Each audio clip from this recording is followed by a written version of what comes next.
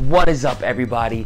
Today, this video is gonna be about the five keys to weight loss. And after this video, you're gonna be able to take these five keys and start watching those pounds drop. So let's get to it.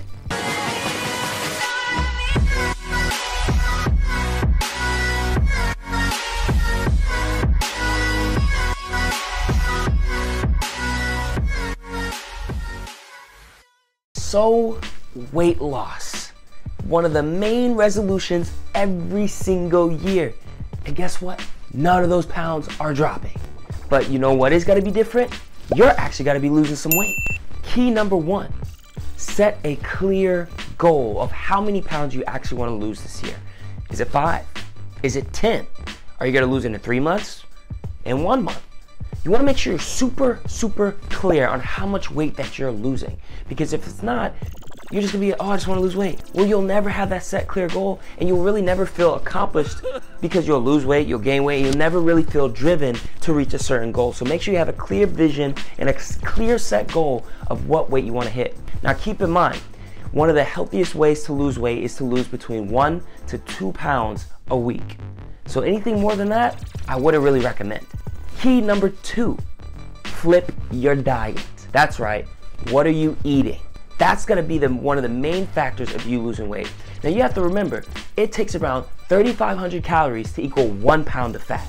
So if you can lose 3,500 calories in one week, that's a pound a week. You're like, man, Noah, 3,500 calories is a lot. Well, if you split it up over seven days, that's 500 calories. And if you already go ahead and work on your diet to take up 250 of those calories, you're halfway there. Remember all those things that your parents told you back, back in the day? Eat your greens, drink your milk? Well, guess what? They actually were kind of right. One of the main things you want to focus on is half your plate should be fruits and vegetables. And that's to make sure you're getting the right nutrients in.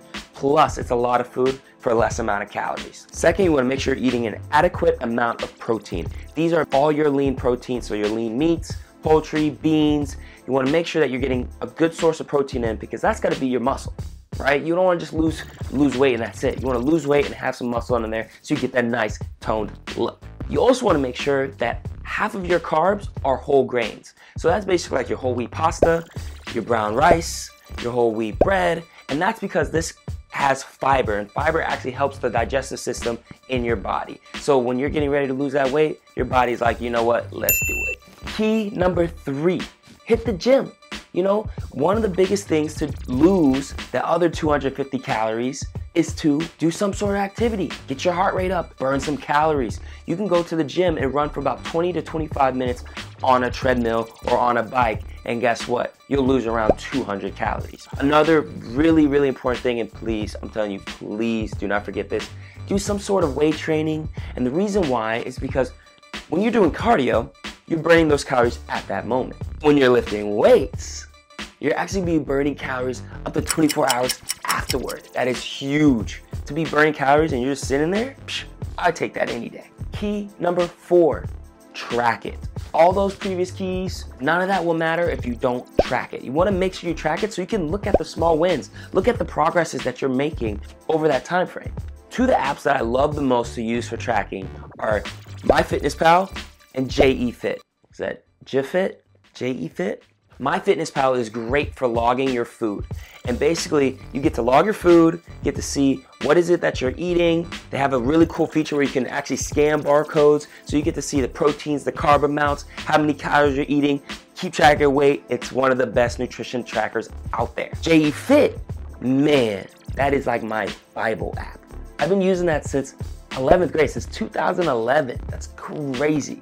But it's super, super reliable. You can basically put in the workout that you're doing and log the reps and the sets of exactly everything you're doing. It's pretty useful and you can actually see the progress of your weights going up and down and what you're lifting. Number five, the fifth key to weight loss, stay consistent. If you don't, guess what? You're gonna lose five pounds maybe in like let's say two and a half weeks then next thing you know you gain a pound no you got to keep pushing forward keep doing the same things over and over and over again, adjust when needed, but just understand, respect the process, understand that you're gonna be losing weight over time. And when you do, you're gonna be like, dang, look at me, I lost all that weight. If you stay consistent with your eating, with your activity, and tracking it, you're bound to lose weight. So those were the five keys to weight loss. One, set a goal. Two, flip your diet. Three, hit the gym. Four, make sure you track your progress. And then five, stay consistent.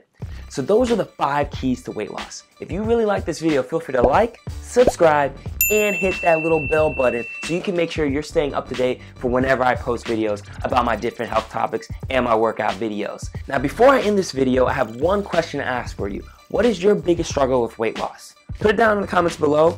I would love to hear your thoughts. All right, guys, I hope you enjoyed. You already know, embrace